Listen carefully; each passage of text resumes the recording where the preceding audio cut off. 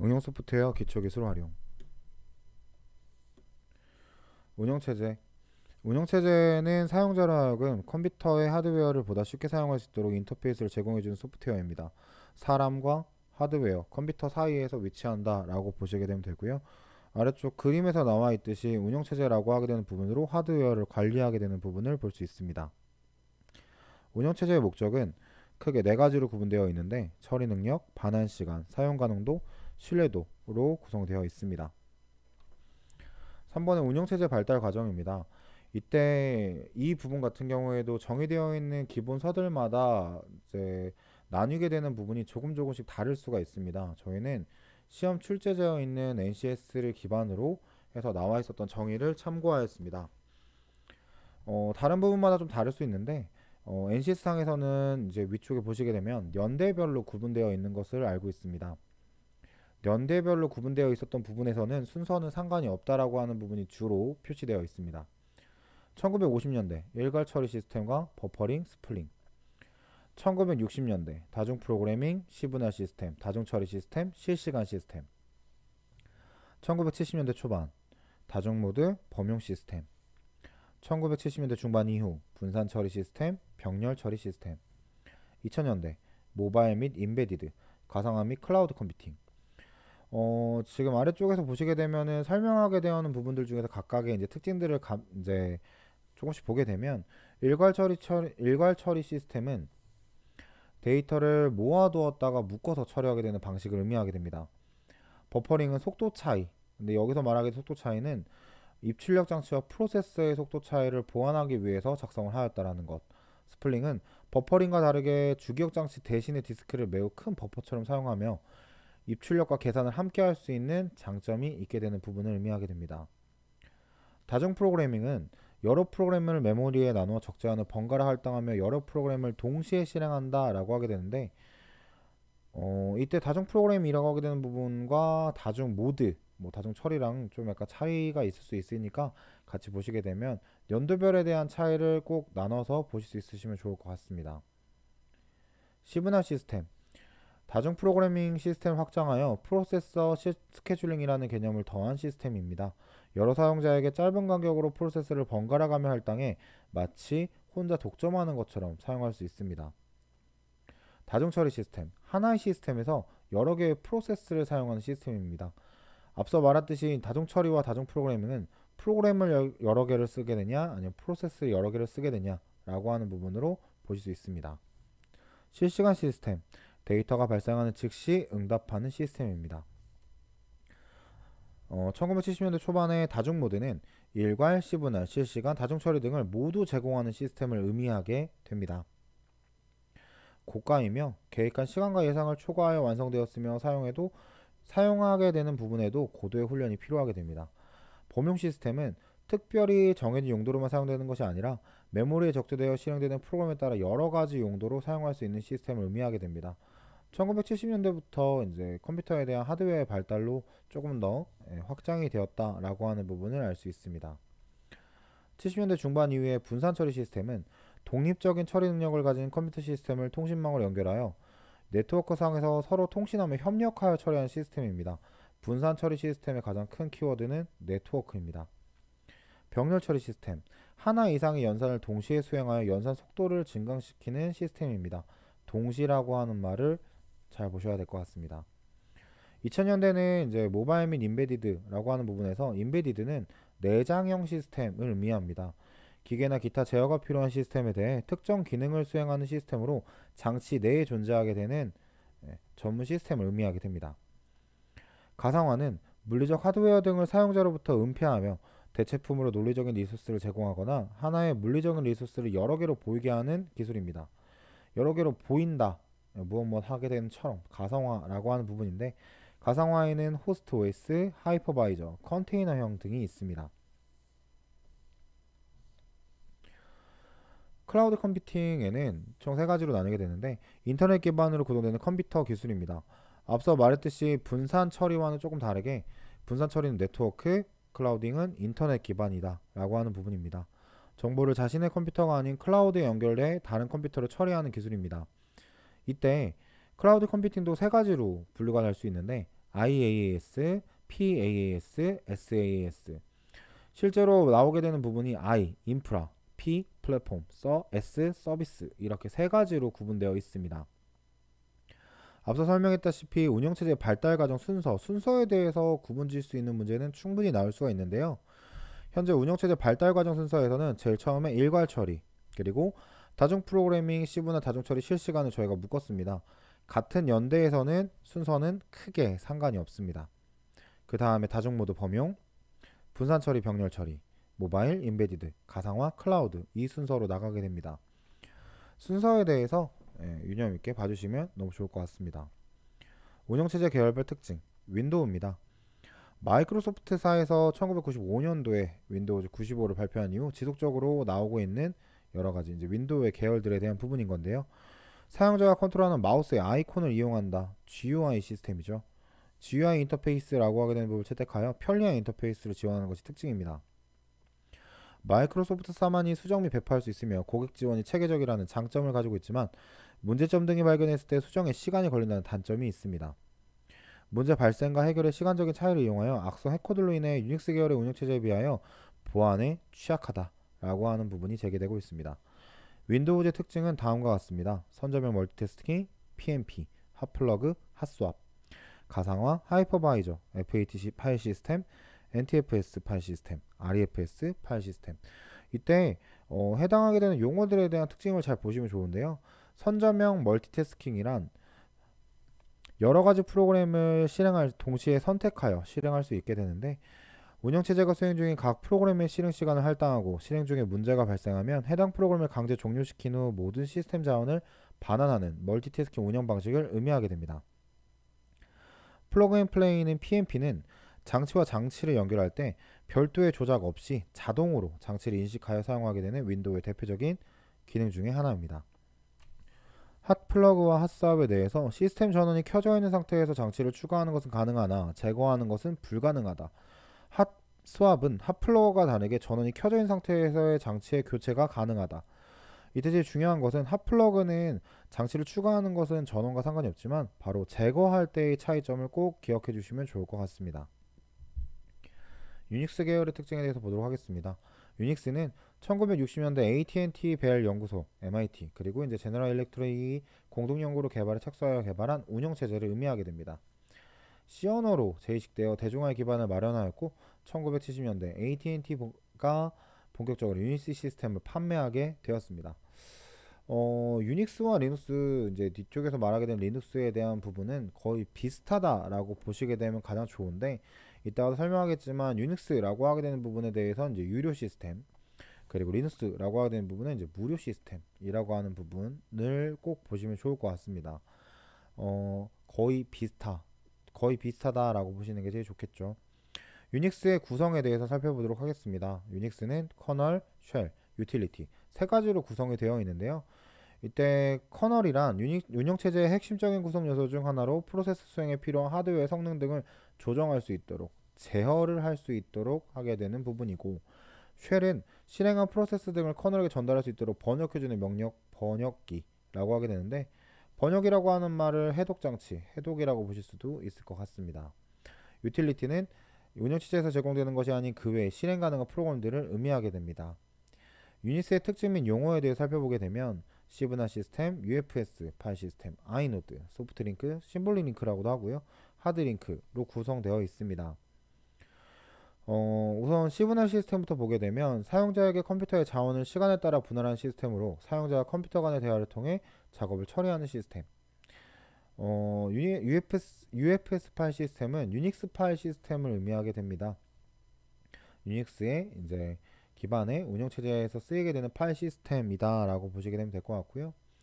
아이노드는 정규 파일이라고 부르게 되며 예, 운영 체제에서 유닉스 계열의 운영 체제 사용하고 있는 자료 구조 시스템을 의미하게 됩니다. 어, 소프트링크랑 하드링크는 이제 이 부분도 차이점에 대해서 보시게 되면 좋은데요. soft link, 뭐 symbolic link라고 나되는 부분은 유닉스 계열 운영체제에서 사용되는 기능이며 inode를 이용하여 윈도우즈의 바로가기와 동일하게 링크 파일 삭제 시 원본은 유지시킨다 라고 하게 되는데 어, 윈도우의 바로가기라고 하게 되는 부분을 참고해 주시면 좋을 것 같아요. 하드링크는 소프트링크와는 다르게 원본과 동기화되어 있습니다.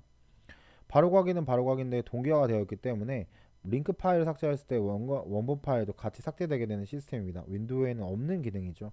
soft link는 윈도우의 바로가기랑 동일하다라고 보시게 되면 되고 hard link는 그것과는 좀더더 발전되어 있는 원본과 실제적으로 연결이 되어 있다라고 보시게 되면 좋을 것 같아요. 리눅스 계열입니다.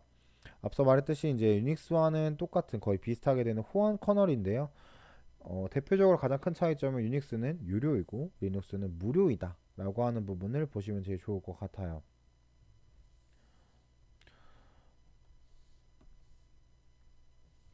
자, 리눅스에 대한 특징은 이제 유닉스, 유닉스에 대한 부분으로 이제 차이점에 대해서 조금 더, 더 강조해서 보시게 되면 좋을 것 같은데 리눅스라고 하게 되는 부분 대부분 무료다라고 하는 부분이 나오게 됩니다. 유닉스는 이제 대부분 유료다라고 하게 된 부분인 거죠. 실질적으로 리눅스를 주로 사용하게 되는 부분은 개발자나 일반 사용자가 가장 많이 사용하게 되며 유닉스는 메인프레임이나 워크스테이션 등 대형 시스템의 관리자에 대해서 좀 더 특화되어 있습니다. 그 밑에 나와 있는 이제 다른 이제 운영 체제는 OS X라고 불리는 맥킨토시 운영 체제라고 하게 되는 부분을 의미하게 되는데 어, 가장 대표적으로 유닉스 기반으로 만들어진 애플사의 제품군에서만 사용이 가능한 그래픽 기반 운영 체제입니다. 모바일과 혼동되게 될 수도 있는데 그래픽 기반 운영 체제로 구분되어 있다라고 하는 부분을 보시면 좋을 것 같아요. 예상 문제입니다. 운영 체제의 목적에 대한 부분인 건데요. 앞서 말했듯이 운영 체제의 목적은 처리 능력, 반환 시간, 사용 가능도, 신뢰도가 있게 됐죠. 일정한 단위 시간 내에 처리할 수 있는 일의 양이라고 했기 때문에 1번은 처리 능력, 4, 2번에 시스템이 주어진 문제를 정확하게 해결할 수 있는지에 대한 정도라고 했기 때문에 신뢰도가 되게 됩니다. 2번은 지원 정책에 따라 일부 유료 서비스 제품도 있지만 대부분 무료, 예, 무료라고 하게 되는 부분으로 정답은 리눅스가 되게 됩니다.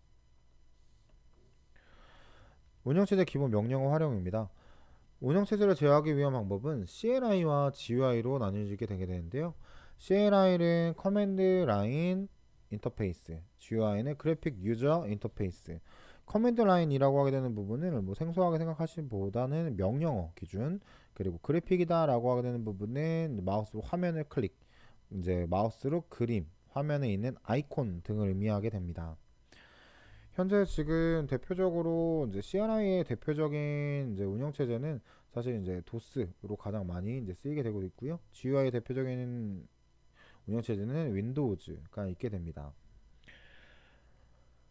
어, CLI 기본 명령어라고 하게 된 부분이 윈도우도 마찬가지로 아예 기본적으로 CLI 명령어라고 하는 부분이 없진 않지만 실제 NCS 상에서는 사실 윈도우의 CLI 명령어들은 도스, 윈도우의 command 창 그러니까 윈도우 안에서 실행하게 되는 도스에 대한 명령어들을 의미하게 되고요. 리눅스와 유닉스 계열은 둘이 거의 비슷한 부분들을 같이 쓰고 있기 때문에 이 둘에 대한 차이점에 대해서 한번 보시면 될 것 같습니다.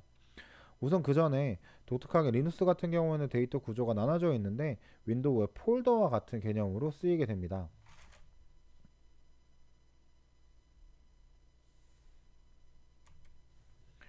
리눅스 디렉터리나 이제 윈도우 폴더와 같은 개념을 의미하게 되는데 윈도우에서는 이제 원 표시와 이제 역slash를 사용하고 있지만 리눅스에서는 slash 반대 방향으로 쓰게 되어 있습니다.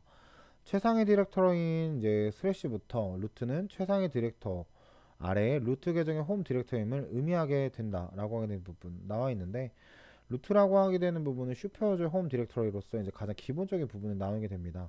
각각의 차이점에 대해서 알고 있으시면 되게 좋을 것 같고요.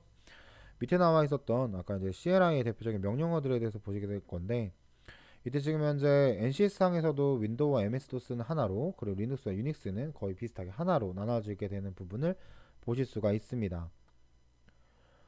CLI 대표적인 명령어에서 이제 경로, 경로 변경하게 되는 부분 지금 현재 같이 공통적으로 쓰이는 부분과 이제 따로 유닉스, 리눅스에서만 쓰이게 되는 부분으로 나눠져 있는데요. 어, 명령어들에 대한 부분들은 어, 다른 부분보다 좀 더 중요하게 한 번씩 이제 읽어주시는 부분과 외워주셔야 되는 부분이 필요하게 됩니다. 저희가 따로 명령어를 쓰게 되는 경우보다는 사실 이제 나와 있었던 설명들에 대해서 각각의 차이점을 꼭 잘 봐주시게 되면 좋을 것 같고요. 요즘 시험마다 계속 한 번씩 출제되고 있다라고 하는 부분은 바로 이제 CLI 대표 명령어들과 이제 윈도우즈의 단축키들이 가장 많이 나오고 있기 때문에 이 부분은 꼭 필히 두 번, 세 번 봐주시면 너무 좋을 것 같습니다. 뒤쪽에 나와 있는 이제 기본 윈도우즈 단축키에 대한 부분인 건데요. 어, 현재 지금 나와 있었던 이 표들은 거의 모두 다 출제되었다라고 보시게 되면 참 좋을 것 같아요. 이때 이제 나와 있었던 이제 윈도우 키라고 하게 된 부분과 같이 쓰게 되는 부분까지도 요즘 많이 나오고 있습니다. 단축키들은 해당하는 이제 프로그램들의 실행 영역을 영어로 표시되어 있는 부분들에 대한 단어를 많이 쓰기 때문에 그런 부분들을 꼭 같이 알고 계시게 되면 공부하실 때 조금 도움이 될 것 같아요. 문제를 보게 되면 어, 윈도우 10에서 윈도우 설정에 실행하는 단축키 이제 설정에 대한 부분이 나오게 되는데요. 설정이라고 하게 되는 부분은 이제 윈도우 키와 i이라고 하는 부분 나오게 됩니다. 실제 시험에서는 이제 윈도우 키를 저희가 그릴 수가 없기 때문에 이런 식으로 한글로 윈도우 키라고 작성을 해주셔도 무방합니다. 단축키랑 이제 CLI 도스의 이제 명령어들과 리눅스 명령어들은 사실 저희가 적어놓은 부분 이외에도 굉장히 많긴 하지만 지금 적어놓은 부분은 거의 100% 숙지를 하시고 나서 시험을 보시는 것을 추천을 해드립니다. 운영체제 핵심 기능 파악입니다. 운영체제 핵심 기능은 이제 운영체제는 중앙 처리 장치, 메모리, 스토리지, 주변 기기 등을 적절히 관리하게 됩니다.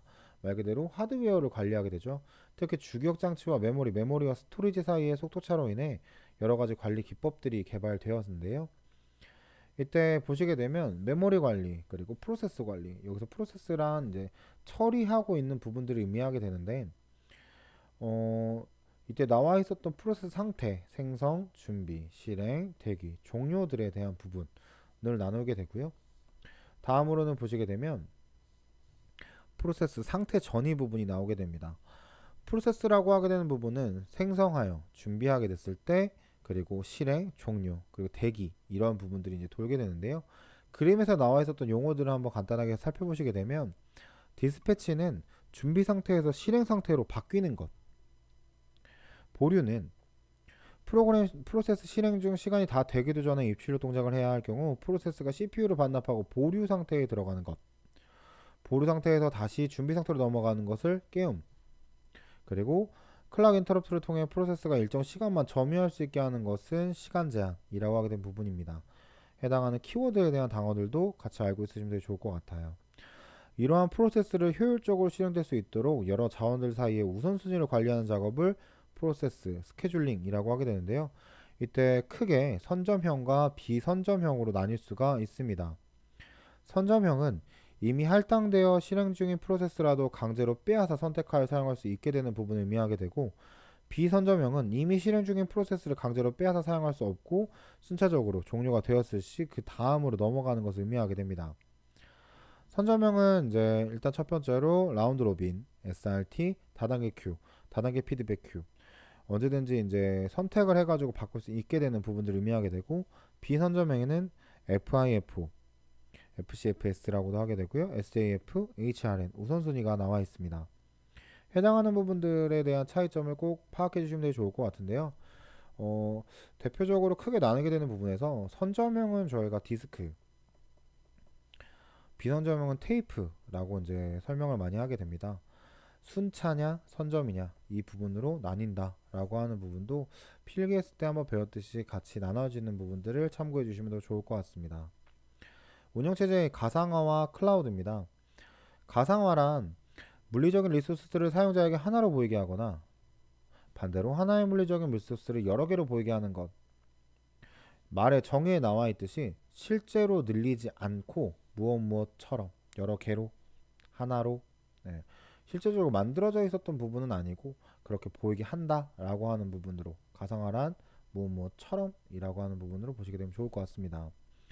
가상화의 종류는 플랫폼 가상화와 resource 가상화가 있습니다.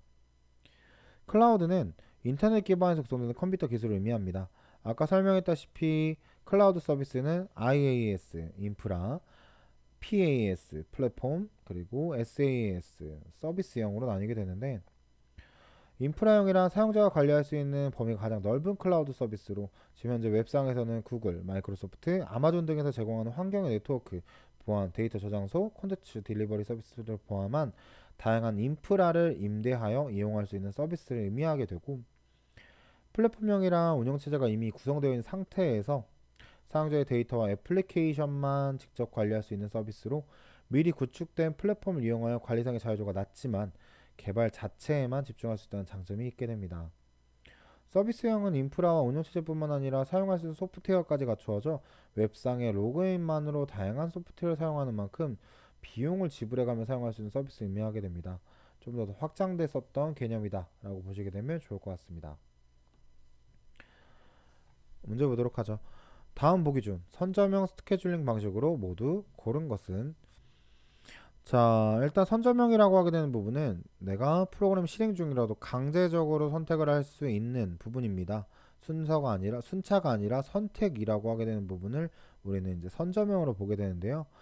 대표적인 선점형 스케줄 방식으로는 이제 round robin 그리고 SRT 그리고 다단계 queue 이렇게 세 가지로 구분되어 있습니다. 그 외에 나와 있었던 나머지 보기들은 비선점형으로 구분 지어 주시면 좋습니다. 이번에 프로세스의 상태 전이 중 준비 상태에 있던 프로세스가 실행 상태로 바뀌는 것을 무엇이라고 하는가? 정답은 dispatch라고 하게 됩니다. 네트워크 기초 활용 네트워크란 원하는 정보를 원하는 수신자 또는 기기에 정확하게 전송하기 위한 기반 인프라를 의미하게 됩니다. 거리에 따라서 LAN과 WAN으로 구분지어 놓게 됩니다.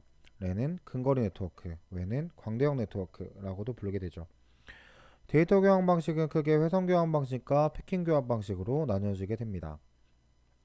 여기서 이제 네트워크 섹션에서 가장 중요한 부분은 바로 이 OSI 7계층인데요. 국제 표준화 기구인 ISO에서 개발한 네트워크 계층 표현 모델을 의미하게 됩니다. 각 계층은 서로 독립적으로 구성되고 하위 계층의 기능을 이용하여 상위 계층의 기능을 제공하게 됩니다. 지금 현재까지 이제 정보 처리 기능사에서 빠짐없이 나오게 있는 문제 중에 하나인데요. 어, 우선적으로는 이 OSI 계층에서 나와 있었던 이 순서들, 하위 계층과 상위 계층으로 나눠지게 되는 이 부분들에 대해서 꼭 참고해 주시게 되는 게 제일 좋습니다.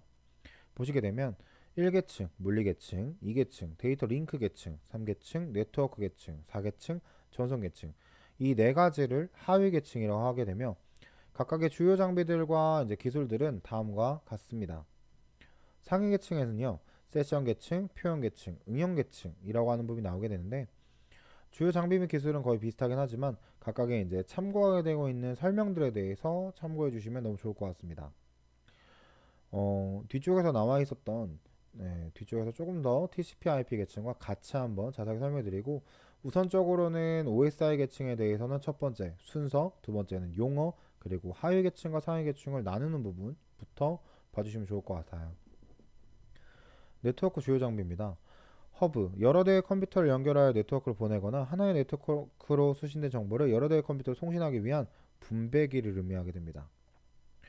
분배한다라고 하게 되는 부분이 여러 가지로 표현될 수 있지만 현재 여기서는 여러 대를 하나로 또는 하나를 여러 대로 나누어 준다라고 보시게 되면 되겠죠.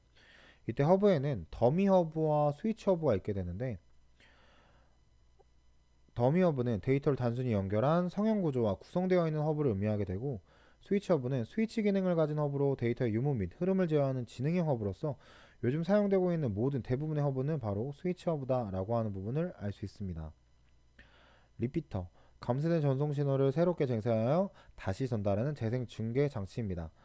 허브 등으로 연결하여 통신할 경우 감쇄, 감쇄된 디지털 신호를 증폭시켜주는 역할을 한다. 증폭기라고 하게 되는 부분이 바로 repeater라고 볼 수 있겠죠. 3번의 브릿지 그리고 스위치는 둘 다 두 시스템을 연결하는 네트워크 장치입니다.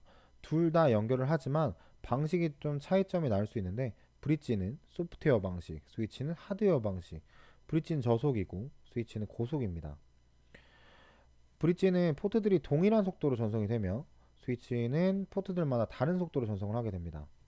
포트의 개수도 브릿지는 적고 스위치는 좀 더 크게 되고 실제적으로 나오게 되는 부분 자체가 목적지 주소 기준으로 1대1 브릿지고요. 목적지 기준으로 1대 다. 이 부분은 스위치라고 하게 됩니다. 라우터. 라우터는 라우, 네트워크 계층에서 서로 다른 구조의 망을 연결하는 연동 장비를 의미하게 됩니다. 어, 실제적으로 설명에 나와 있겠지만 routing 프로토콜에는 경로를 설정하여 원하는 목적지까지 지정된 데이터가 안전하도록 전달되도록 한다. 경로를 담당하게 되고 있습니다. 게이트웨이는 프로토콜을 서로 다른 통신망에 접속할 수 있도록 해주거나 다른 종류의 네트워크 등을 상호 접속하여 정보를 주고받을 수 있는 장치를 의미하게 됩니다. NIC, 네트워크 인터페이스 카드라고 하게 되는데요. 외부 네트워크와 접속하여 가장 빠른 속도로 데이터를 주고받을 수 있게 컴퓨터 내에 설치되는 장치를 의미하게 됩니다.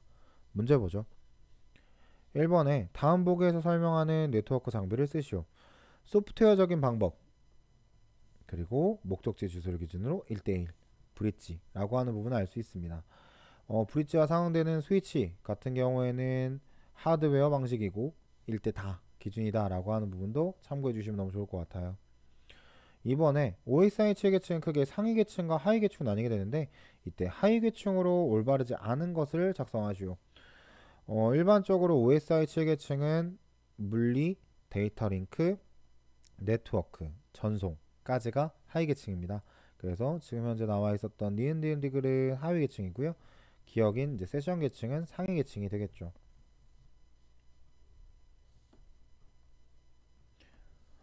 네트워크 프로토콜에 대해서 한번 파악해 보도록 하겠습니다.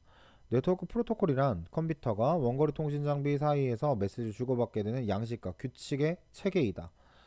어, 프로토콜이라고 하게 되는 부분은 규약이라고 보시게 되면 됩니다. 이때 통신 규약 또는 규칙에는 전달 방식, 통신 방식, 자료 형식, 오류 검증 방식, 코드 변환 규칙, 전송 속도 등이 있게 되는데 프로토콜의 이변 기본적으로 나와 있었던 요소는 구문, 의미, 시간으로 나뉘게 됩니다.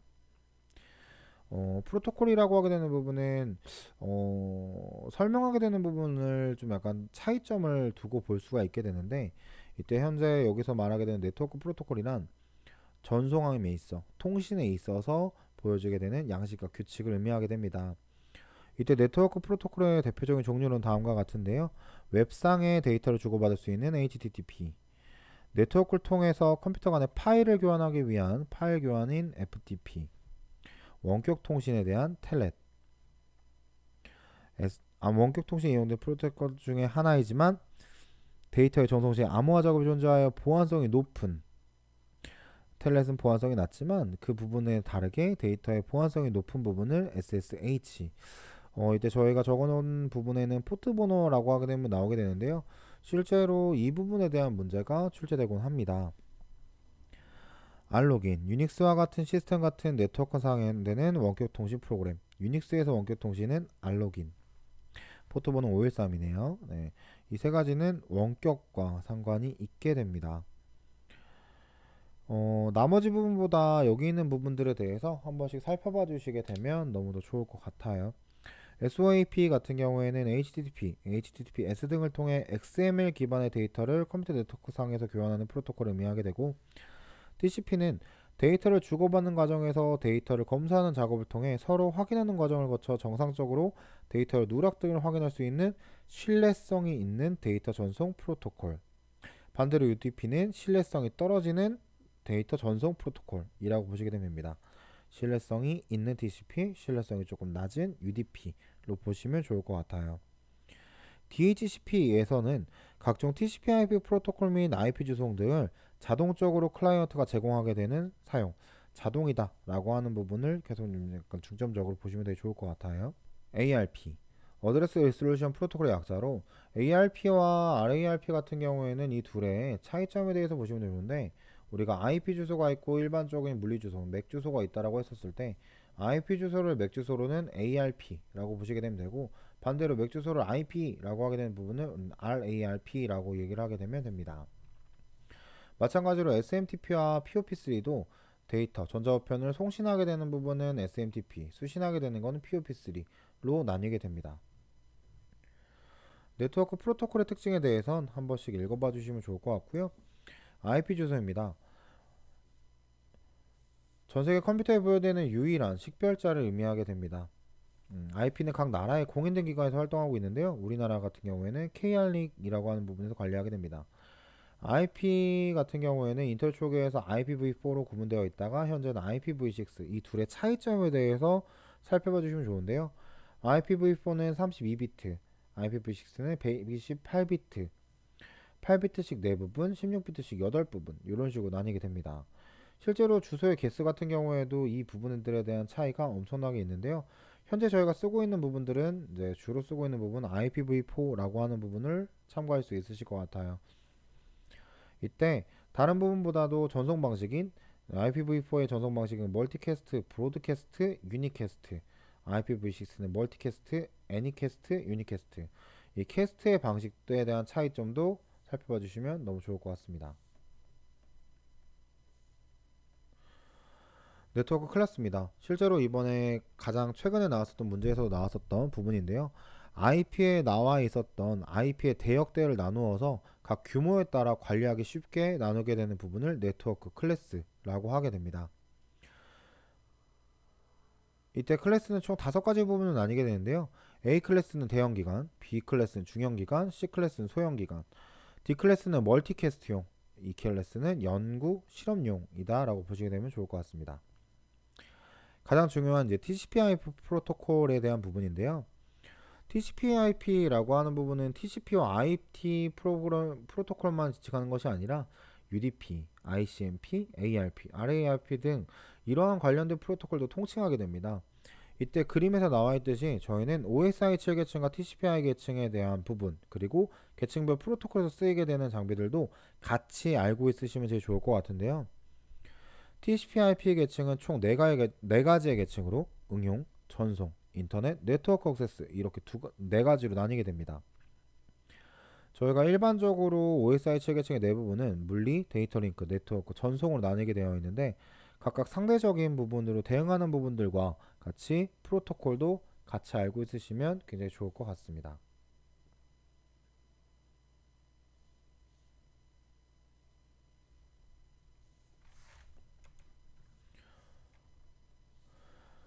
TCP와 UDP의 가장 큰 차이점에 대해서 보시게 되면 아까도 설명드렸다시피 저희는 어, 신뢰도에 대한 부분으로 충분 나눌 수가 있는데 TCP는 수신 측의 수신 가능 상태와 수신 여부 등을 단계적으로 체크해가며 데이터를 전송하지만 UDP는 망으로 데이터를 통신할 법 확인 작업을 수행하지 않습니다. TCP는 신뢰도가 있고 UDP는 신뢰도가 좀 떨어진다라고 하는 부분을 네, 그 부분에 대한 차이점을 먼저 좀 알고 있으시면 되게 좋을 것 같고요. 그래서 TCP의 대표적인 것은 FTP, 텔넷, HTTP, SMTP, POP, IMAP이 있고 UDP 같은 경우는 SNMP, DNS, TFTP, NFS, 넷바이오스, 인터넷 게임, 방송 증권 등이 있습니다. 각각의 큰 차이점을 저희가 세분화하는 것보다는 좀 더 크게 신뢰도에 대한 부분으로 나뉘게 된다라고 하는 부분을 볼 수 있습니다. 문제 보시게 되면 OSI 7계층 정의에 맞는 계층을 쓰시오. 논리적 주소를 이용하여 최적의 경로를 선택하며 데이터가 전송된 수시측 주소를 확인하여 일치하면 다음 계층으로 전송한다. 어, 앞서 나왔었던 부분을 좀 더 자세하게 보시게 되면 지금 현재 경로를 선택하게 되고 전송을 하게 되는 데 있어서 필요하게 된 부분이니까 여기서는 네트워크 계층이다 라고 볼 수 있습니다. 이번에 IP 주소를 이제 규모에 따라서 나뉘어지게 되는 부분을 클래스라고 하게 되는데 연구 또는 실험용은 이 클래스에게 됩니다. 앞서 설명했듯이 A는 대형, B는 중형, C는 소형 기관을 의미하게 되고 D는 그룹 및 multicast용, E는 연구 실험용을 의미하게 됩니다. 네트워크 핵심 알고리즘 packet switching과 circuit switching으로 나뉘게 되는데 packet switching은 패킷 교환을 의미하게 됩니다. 패킷이란 데이터를 이제 조각으로 나뉘어서 작은 블록의 패킷으로 데이터를 전송하게 되는 방식을 의미하게 되고 대표적으로는 이제 x.25 그리고 이제 뒤쪽에 나와 있는 부분이 있는데 일단 x25부터 보시게 되면 패킷이라고 불리는 데이터 블록을 사용하여 대용량의 데이터를 다수의 패킷으로 분리하여 송신하며 수신 측에서는 다수의 패킷을 결합하여 원래의 데이터로 복원하게 됩니다. 전기통신국제기구인 ITU-T에서 관리 감독하는 프로토콜이고요. OSI 7계층에서 레이어 중 1계층부터 3계층까지를 담당하고 있습니다.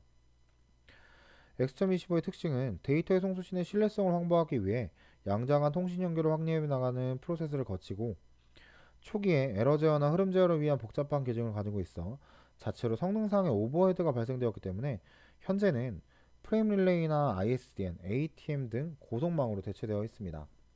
그 부분에 대해서 한번 살펴보시게 되면 frame relay란 ISDN에서 사용하기 위한 프레임 프로토콜을 의미하게 됩니다. 아까 전기 요구인 전기 기구인 ITU-T에서 표준을 작성하게 되었고요.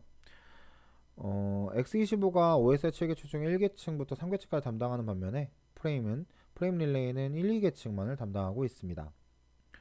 전용선을 사용하는 것보다 가격이 저렴하여 기술적으로는 X25에 비해 우위에 있습니다. ATM은 비동기 전송 모드라고 하게 되는데 광대역 전송에 쓰이는 스위칭 기법입니다.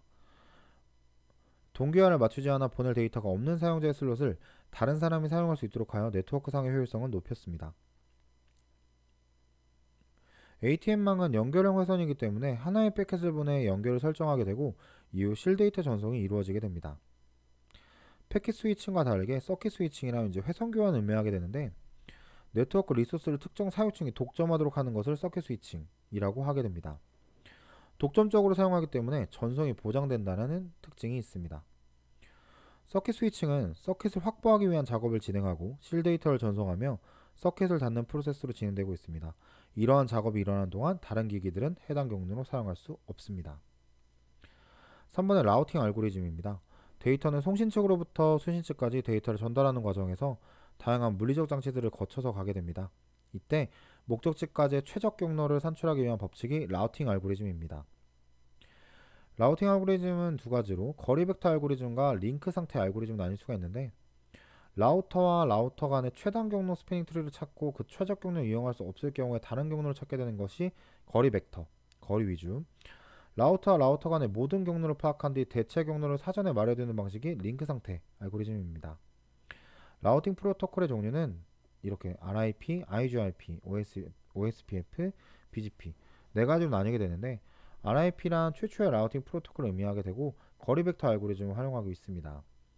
이때 RIP의 문제점을 개선한 것이 바로 I, 시스코에서 개발한 것이 IGRP고 링크 상태 알고리즘을 사용하는 것이 OSPF 규모가 큰 대형 사업자가 상호 라이팅을 하게 되는 것이 BGP가 되게 됐습니다.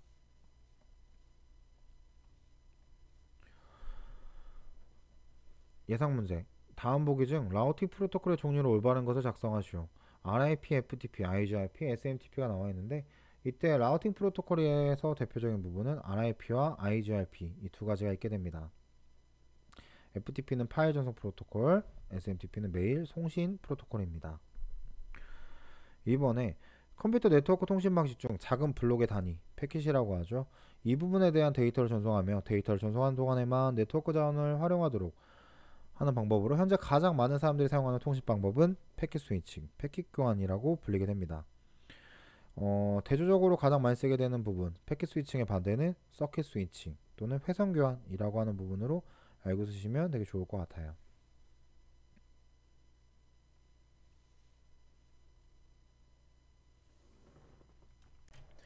데이터베이스 종류 및 선정 데이터베이스 데이터베이스 개념은 다수의 인원, 시스템 또는 프로그램이 사용할 목적으로 통합하여 관리되는 데이터의 집합을 의미하게 됩니다. IT 시스템의 발달로 인해 급증하는 데이터에 대한 효과적인 관리가 중요해졌으며 자료의 중복성 제거, 무결성 확보, 일관성 유지, 유용성 보장은 데이터베이스 관리의 가장 큰 핵심입니다. 데이터베이스의 특징은 다음과 같습니다. 실시간 접근성, 계속적인 변화, 동시 공유, 내용에 의한 참조 이 네 가지의 특징을 갖고 있습니다. 데이터베이스의 설계 순서는 요구 조건 분석 후 개념적 설계, 논리적 설계, 물리적 설계, 그리고 구현 또는 실행을 하게 되는 부분으로 설계를 하게 됩니다. 데이터베이스 용어는 속성, relation 내의 하나의 열을 의미하게 됩니다. 또는 어떤 개체를 표현하고 저장한 것으로 column이나 필드라고도 불리기도 합니다. 속성은 지금 현재 아래쪽에 는 그림에서 나와 있듯이 1, 2, 3, 4가 나와 있었던 부분들은 이렇게 세로적인 방향으로 하나씩 하나씩 하나씩을 의미하게 됩니다.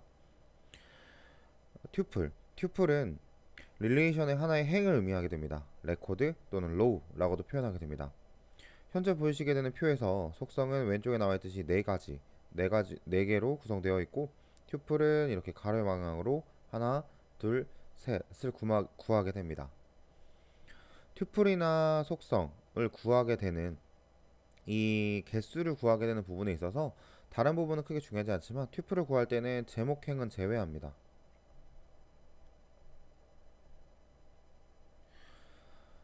자, 그 다음으로는 차수, degree. 하나의 relation에 들어있는 속성의 수를 의미합니다. 지금 위쪽에 나와 있었던 합격생의 비법에 대해서 나 보게 되면 속성은 지금 현재 4개, degree는 넷, 4개의 차수를 구하고 있다 라고 볼 수 있습니다. 기수, cardinality 하나의 relation 내에 들어있는 tuple의 수를 의미합니다.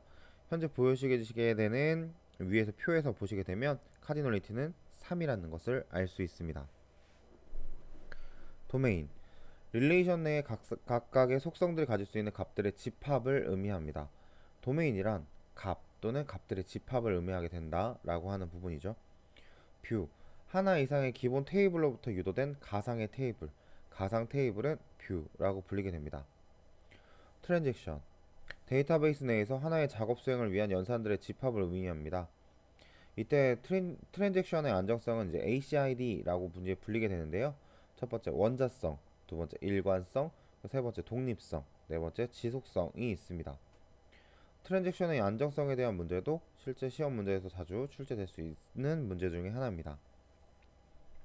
스키마 데이터베이스 구조와 제약 조건에 관한 전반적인 명세를 의미합니다. 저희가 웹, 네트워크 상에서 프로토콜을 배웠듯이 데이터베이스의 제약 조건은 스키마라고 하는 부분을 알 수 있습니다. 이때 스키마는 세 가지 구성으로 되어 있는데 내부 스키마 또는 물리 스키마라고 하게 되는 부분은 시스템의 프로그래머나 설계자의 관점에서 정의하는 데이터베이스를 의미하게 됩니다. 개념 스키마, 논리 스키마라고도 하며 사용자들이 필요로 하는 데이터를 기관이나 조직의 관점에서 정의한 데이터베이스를 의미합니다. 외부 스키마, 서브 스키마라고도 하며 사용자 등의 개인적 입장에서 필요로 하는 데이터베이스를 의미합니다. 다음으로는 키입니다. 무언가를 식별하는 고유한 식별자 기능을 하는 것입니다. 이때 키를 구성하고 되어 있는 이 부분들은 무언가를 식별할 수 있는 모든 고유한 식별자들을 모두 다 키라고 하게 됩니다. 이때 유일하고 최소성을 만족하게 되는 조합들을 뽑아내게 된 게 바로 이 후보 키들이고요. 후보 키들 중에서 중복된 입력값이 불가능하고 널 값을 가질 수 없는 유일한 하나가 기본 키로 구성되게 됩니다. 기본 키는 유일하다 라고 하는 말을 표현하지만 실제로 데이터베이스 안에서 기본 키는 여러 개가 될 수도 있습니다. 핵심적인 내용에서 알듯이 기본 키는 중복값 입력이 불가능하고 널 값을 가질 수 없다 라고 하는 부분으로 알고 계시면 더 좋을 것 같아요. 슈퍼키 유일성은 만족하지만 최소성은 불만족. 어, 이 부분에 대해서는 유일성을 만족하게 되는 부분들과 최소성을 만족하는 속성들이 집합인 후보키와는 조금 대조적으로 후보키는 유일성과 최소성을 만족하지만 슈퍼키는 유일성은 만족하지만 최소성은 불만족한다라고 하게 되는 부분에 대한 차이를 가지고 있습니다. 대체키 후보키 중 기본키로 선택되지 못한 후보키들 위에 그림에서 보시게 되면 이 네모 안에가 모두 다 후보키라고 보게 된다면 이때 기본키를 제외하고 나머지 모든 키들은 대체키라고 불릴 수 있습니다. 외래키 다른 테이블의 행을 식별하는 키 현존하는 지금 현재 보고 있는 기존의 테이블이 아닌 다른 외부에서 보게 되는 행에서 식별하는 키를 외래키라고 하게 됩니다. 어, 유일성이란 말을 저희가 이제 한번 작성해 보았는데요. 유일성이란 하나의 키로 특정 행을 바로 찾아낼 수 있는 고유한 데이터의 속성을 의미합니다. 유일성만 만족해도 슈퍼키가 될 수 있습니다. 보시다시피 유일성만 만족해도 슈퍼키 또는 후보키가 될 수 있으며 이때 최소성을 만족하게 되면 후보키가 최소성을 불만족하게 되면 슈퍼키가 되게 됩니다. 데이터베이스 관리 시스템입니다. 줄여서 DBMS라고 하게 되는데요.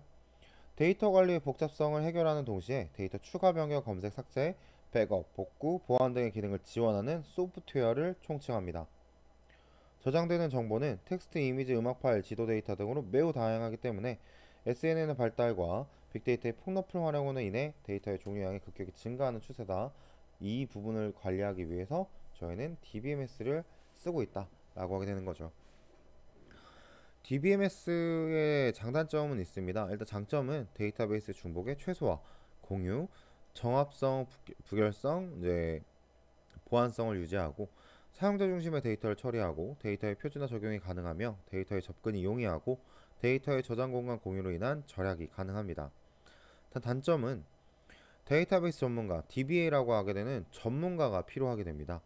DBMS 구축 서버 필요 및 유지비가 발생을 하게 되며 백업과 복구가 생각보다 어렵다라고 할 수 있다라고 하게 되는 부분인 거죠.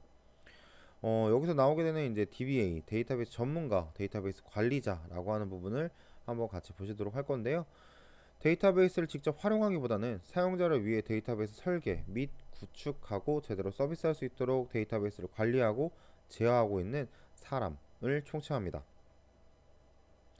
이때 데이터베이스 관리자의 주요 업무는 데이터베이스를 구성 요소를 선정하거나 스키마를 정의하고 물리적 저장 구조와 접근 방법을 결정하며 무결성 유지를 위한 제약 조건을 정의합니다. 보안 및 접근 권한 정책도 결정하고 백업 및 회복 기법도 정의합니다. 시스템 데이터베이스를 관리하고 시스템 성능 감시 및 성능을 분석합니다. 그리고 데이터베이스를 재구성하게 됩니다. DBMS와 DBA는 필기에서도 설명이 나와 있듯이 어, 시험 문제에서 정보 처리 기능사에서 가장 중요한 데이터베이스 부분 중 가장 중요한 부분들 중에 하나인데요. 용어들에 대한 부분을 꼭 파악해 주시면 좋을 것 같습니다. 데이터베이스 종류입니다. 데이터베이스 종류는 지금 현재 이제 그림과 같이 아, 책에 교재에 나와 있듯이 파일 시스템, 계층형 데이터베이스 관리 시스템, 망형 데이터베이스 관리 시스템, 관계형 데이터베이스 관리 시스템 이런 식으로 나뉘게 되는데요. 일단 우선 파일 시스템은 파일의 이름을 부여하고 저장이나 검색을 위하여 논리적으로 어디에 위치시켜야 하는지 등을 정의한 뒤 관리하는 데이터베이스 전 단계의 데이터, 데이터 관리 방식을 의미하게 됩니다. 대표적인 파일 시스템 데이터베이스로는 ISAM과 VSAM 이렇게 두 가지가 구성이 되어 있습니다. 계층형 데이터베이스 관리 시스템은요. 데이터베이스를 상하 종속적인 관계로 계층화하여 관리하는 데이터베이스를 의미하게 됩니다. 대표적으로는 IMS와 시스템 2000과 같은 제품이 있습니다. 망형 데이터베이스 관리 시스템은 데이터의 구조를 네트워크상의 망형, mesh라고 하게 되는 부분이 있죠. 논리적으로 표현한 데이터 모델을 의미하게 됩니다. 망형 자체의 특징은 유연하지만 복잡하다 라고 하게 되는 부분이 있죠. 대표적인 제품으로는 IDS와 토탈, IDMS 같은 제품이 있게 됩니다. 현재 지금 나와 있었던 1번, 2번, 3번에 나와 있었던 파일 시스템, 계층형 데이터베이스 관리 시스템, 망형 데이터베이스 관리 시스템은 아, 이러한 부분들이 있다라고 하게 되는 부분들을 이제 참고해 주시면 되게 좋고요. 가장 중요한 부분은 바로 이 관계형 데이터베이스 관리 시스템 RDBMS입니다. 현존하는 가장 보편화된 데이터베이스 관리 시스템으로요. 저희가 아마 가장 많이 사용하고 있고 현재 이제 가장 접할 수 있는 부분들이다라고 하게 되는 것을 꼭 기억하시면 되게 좋을 것 같아요. 데이터를 저장하는 테이블의 일부를 다른 테이블과 상호관계로 표시하며 상관관계를 정리합니다. 계층형에서 조금 더 발달되어 있다 라고 하는 부분 볼 수 있죠. 변화하는 업무나 데이터 구조에 대해서 유연성이 좋아서 유지관리가 용이합니다. 대표적인 종류로는 오라클, 미국 오라클사에서 개발한 데이터베이스 관리 시스템으로 리눅스, 유닉스, 윈도우 모두를 지원하며 대형 시스템에서 가장 많이 사용하고 있습니다. SQL 서버, 어, 줄여서 MS SQL이라고도 불리게 되는데요. 마이크로소프트, 마이크로소프트사에서 개발된 관계형 데이터베이스 시스템입니다.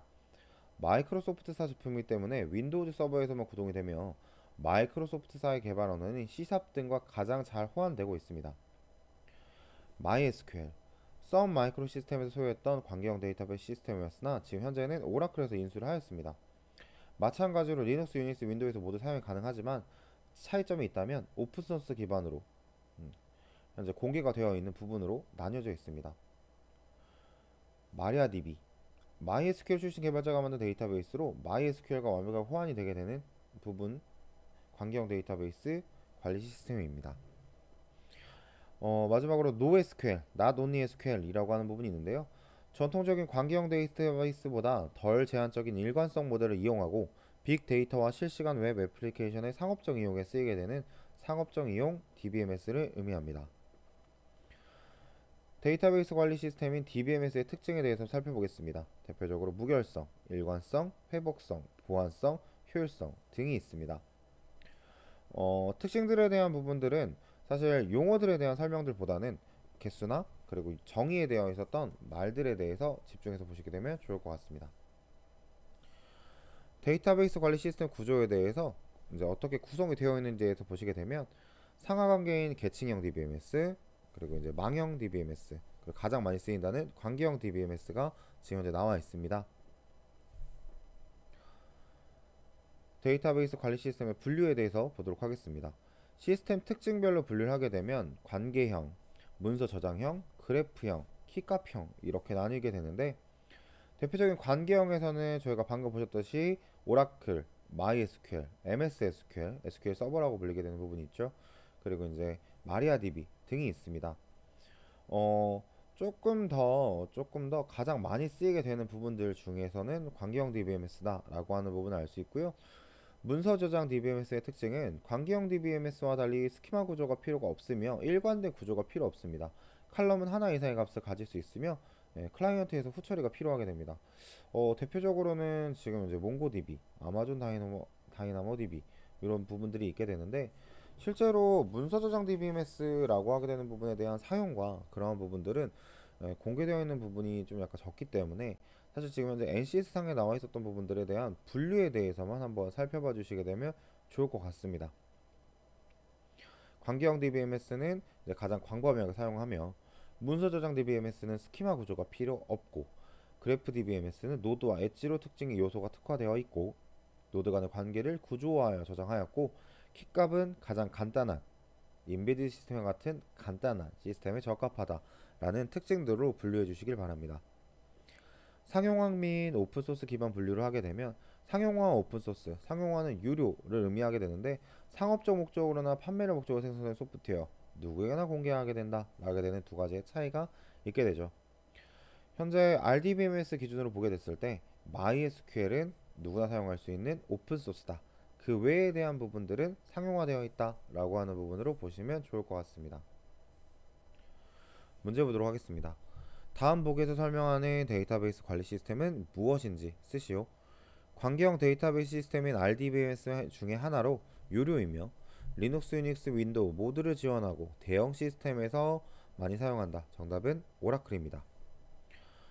만약에 이 부분이 유료가 아니라 오픈소스, 리눅스, 유닉스, 윈도우를 모두 지원하지만 대형 시스템이 아닌이라고 하게 된다면 MySQL이다 라고 하는 부분을 알 수 있죠. 2번입니다. 다음 보기에서 설명하는 용어를 작성하시오. 데이터베이스의 중앙 처리 시스템인 DBMS를 관리하며 데이터베이스 검색, 삽입, 수정, 삭제를 수행하는 관리자를 의미합니다. 관리와 관리자, 데이터베이스 관리자, DBA입니다. 3번입니다. 아래 테이블의 카디널리티의 수와 디그리의 수를 구하시오. 카디널리티는 튜플을, 디그리는 속성을 구하게 되는데요. 이때 튜플을 구하시게 될 때는 제목행을 제외합니다. 그래서 현재 지금 나와 있었던 이 표의 카디널리티는 제목행을 제외한 나머지 하나, 둘, 셋, 세 개가 되게 되고요. 디그리는 제목과 상관없이 열로 하나, 둘, 셋, 넷, 다섯, 다섯 개가 되게 됩니다. 작성에 대한 부분도 많이 이제 문의를 해주시거나 물어봐 주시는 부분이 계시는데 뭐 지금 현재 저희가 정답처럼 카디널리티 3, 디그리 5 이렇게 쓰셔도 되고 어, 웬만하면은 이 부분을 그냥 3, 5라고 썼을 때 문제랑 직관되긴 하겠지만 계산하게 되는 부분을 채점하게 됐을 때 조금 혼돈이 올 수도 있기 때문에 저는 웬만하면은 어떻게 구분이 되어 있다라고 하는 부분을 써주시는 걸 추천해 드립니다. 관계형 데이터베이스 활용입니다. 바로 개체관계 다이어그램인 ERD 또는 ER 다이어그램이라고 하는 부분인데요. ERD는 업무 분석 결과로 도출된 실체와 entity 간의 관계를 도식화한 것을 의미하게 됩니다. ERD는 요소들 간 연관성을 도식화하기 때문에 데이터베이스 관리자, 개발자, 사용자 모두 데이터의 흐름과 연관성을 공통적으로 쉽게 확인할 수 있습니다. ER 모델은 ERD의 구성 요소인 개체, 관계, 속성을 추출하기 위해서 업무나 시스템에 대한 명확한 정의가 있어야 됩니다. 도식화하기 전각 개체를 사각형, 화살표, 마름모로 표시한 형태를 ER 모델이라고도 합니다.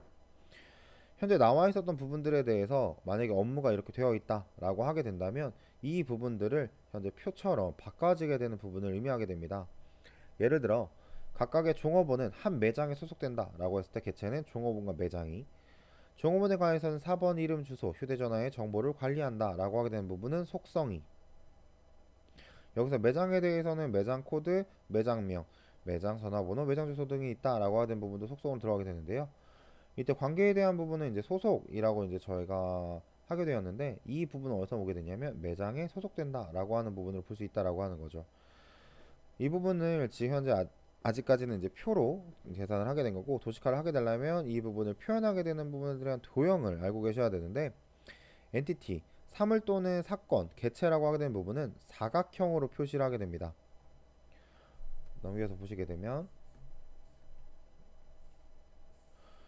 속성은 entity가 가지고 있는 요소 등의 성질을 의미하게 됩니다. 속성은 선으로 연결된 동그라미로 표시하고 표 형식을 표기하기 때는 이제 crow's foot 모델이라고 얘기해야 되는 부분으로 표로 표시하게 되는데 제목과 안에 있었던 내용들을 표시하게 된다라고 하는 거죠. 방금 위쪽에 나와 있었던 표를 봤었을 때 예를 들어서 종업원이라고 하게 되는 개체를 사번 이름, 주소, 휴대전화 번호 등으로 저희가 표시를 했다라고 하는 거를 보실 수가 있습니다. 여기 보시게 되는 챗 모델이라고 하게 되는 부분이 지금 현재 가장 많이 사용하고 있는 ER 모델 중에 하나입니다. 관계는 사각형, 속성은 타원형 이렇게 표시하게 되는데 여기서 말하게 되는 관계를 정의하게 될 때라고 하는 부분은 다시 한번 설명이 들어가게 된 부분이고요. 관계는 아래쪽에 있었던 표를 의미하게 됩니다. 1대1은 직선, 1대 n 같은 경우에는 이렇게 꺽쇠가 들어가게 되는 거죠. 다대다 관계와 필수 관계라고 하게 되는 부분이 표시가 됩니다. 다시 보시게 되면 ER 모델에서 사각형은 개체, 마른 모는 관계, 동그라미는 속성, 동그라미에 이제 직선, 선이 밑줄이 거져 있는 부분은 기본키, 마름모와 개체가 있는 것은 연관성, 직선 연결되어 있는 부분은 연결선, 관계라고 보시게 됩니다. 실제로 보시게 되면 저희가 예를 들어서 이러한 시나리오가 있습니다. 보험사에서 사용하는 데이터베이스를 설계한다. 고객이 있고 고객이 사용하는 계좌가 있다. 고객에 대한 정보로는 이름, 주소, 휴대전화, 주민등록번호가 있다. 고객 계좌에 대한 정보로는 계좌번호, 계좌 종류, 잔고, 개설일자, 인출 한도가 있다. 주소 정보에 대한 정보로는 시군구, 동, 상세 정보, 상세 주소, 우편 번호가 있다. 이때 보시게 되면 저희가 지금 현재 보시게 되는 것은 이제 보험사에서 사용하고 있는 데이터베이스입니다. 이때 고객이 있고 고객이 사용하는 계좌가 있습니다. 고객이 있고 고객이 사용하는 계좌 이 부분에 대한 연관성을 표시해 주게 되었고요. 고객에 대한 정보로는 이름, 주소, 휴대전화, 주민등록번호가 있습니다. 그래서 보시게 되면 여기에다가 작성을 하시게 되면 고객 계좌에 대한 정보로는 계좌번호, 계좌 종류, 잔고, 개설일자, 인출 한도가 있습니다. 고객 계좌에 대한 정보로는 이제 나와 있었던 부분이 있고 주소 정보에 대한 정보라고 하게 되는 부분인데 지금 현재 주소 같은 경우에는 고객에 대한 정보에서 주소가 이어져야 하며 이 주소라고 하는 연관성에서 시공구, 동, 상세 주소, 우편 번호 이렇게 이어지게 되는 부분을 보실 수가 있습니다.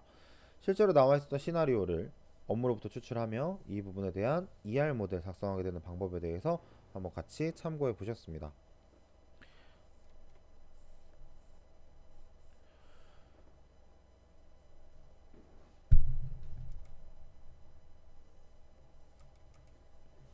자, 관계형 데이터 ERD 관계형 스키마에 대한 작성에 대해서 보시도록 할 건데요. 관계형 스키마 작성을 위한 테이블 형태를 표시합니다. 테이블의 가장 윗칸에 유일하게 필드를 구분할 수 있는 구분자가 되어야 한다. UA키를 만드는 방법은 여러 가지가 있으며 일련 번호를 부여하기도 합니다. UA키 아래 칸에는 속성들을 기입합니다. UA키를 작성하게 됐을 때 이제 제약 조건은 고객은 다수의 집을 보유할 수 있다. 고객은 다수의 계좌를 보유할 수 있다. 라고 이제 나와 있었을 때 현재 지금 현재 고객이라고 하게 되는 부분들 보험회사 그리고 이제 계좌 이렇게 나와 있었던 부분에서 고객은 다수의 집을 보유할 수 있다. 고객은 다수의 계좌를 보유할 수 있다. 라고 하게 되는 이제 예를 들어서 나와 있었던 부분으로 보시게 되면 어떠한 한 부분을 저희가 제약 조건 이제 식별하기 위한 부분을 뽑거나 아니면 일련 번호를 쓰기도 한다 라고 하는 부분을 참고할 수 있습니다. 테이블 간의 관계를 설정하게 되는 부분에는 뭐 1대1, 1대 n, n대1, n대 n 다대다 이렇게 표시할 수가 있게 되는데 그림을 이제 표시하게 되는 부분은 다음과 같습니다. 방금 좀 표에서 보시게 되면 고객이라고 하게 되는 부분들에서 이제 하나와 다 이런 식으로 표기되는 관계에 대한 부분을 볼 수가 있다라고 하게 되는 부분인 거죠. 앞쪽에 나와 있었던 부분을 계속 이어서 보신다라고 보시게 되면 됩니다.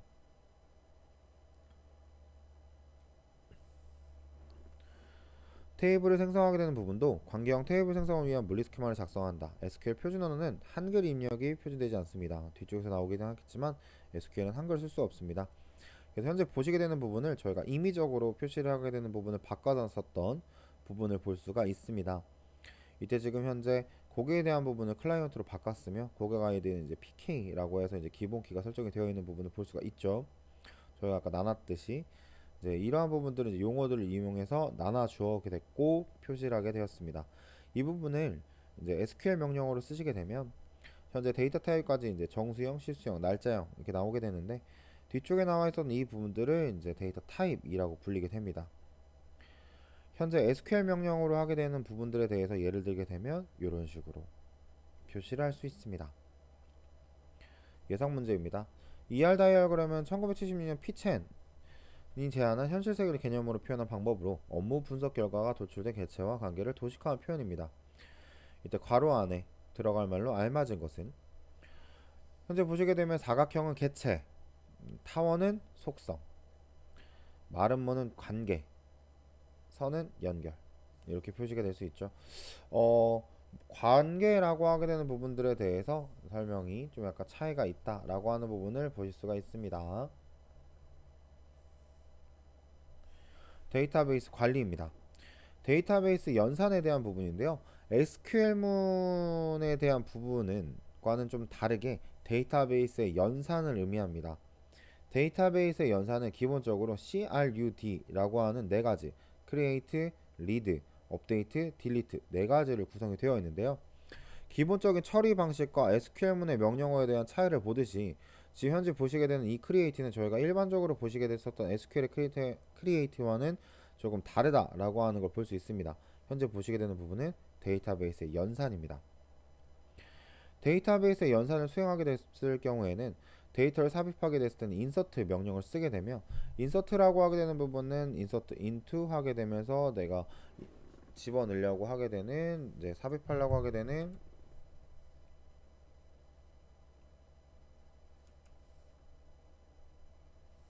삽입하려고 하게 되는 테이블 그리고 값들에 대한 부분으로 하게 됐을 때 현재 지금 SQL문에서 다시 한번 더 자세히 설명드리겠지만 value라고 하게 되는 부분은 값입니다. 현재 입력하게 되는 값이 여러 개 있을 경우에 s가 붙게 되는 부분을 볼 수 있죠. 데이터를 삽입, 데이터를 삽입하기 위해서 쓰게 되는 예제는 다음과 같습니다. 데이터의 읽기입니다. 읽기는 이제 read, read는 select 명령어를 많이 쓰게 되는데요.